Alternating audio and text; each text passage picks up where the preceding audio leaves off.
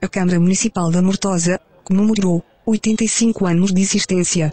A cerimónia decorreu no dia 29 de outubro, junto aos passos do município, com o hastear das bandeiras e a presença do grupo coral de Santa Maria da Mortosa, que acompanhou o momento, ao som do hino nacional. A cerimónia seguiu pela manhã, com o depositar de uma coroa de flores, junto ao monumento do almirante Jaime Freixo, que em 1926 assinou o decreto que separava a Mortosa do Conselho de Estarreja.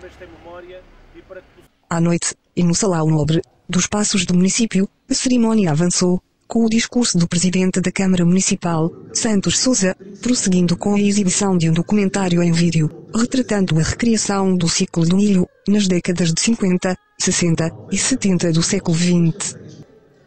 No vídeo falou-se também de vários ranchos folclóricos, entre outras associações recreativas e desportivas.